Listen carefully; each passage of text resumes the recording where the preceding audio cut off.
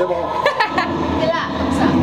Yorana, alors euh, je vous invite à venir voir notre spectacle de Tahiti Ora qui se nomme Moemoea, le rêve. Donc euh, en fait c'est une jeune fille qui rêve euh, de sa culture et qui a peur qu'elle disparaisse. Mais finalement, au final, la culture est tellement ancrée dans les Polynésiens et dans, la vie de tous les jours qu'elle est bien là et c'est la réalité.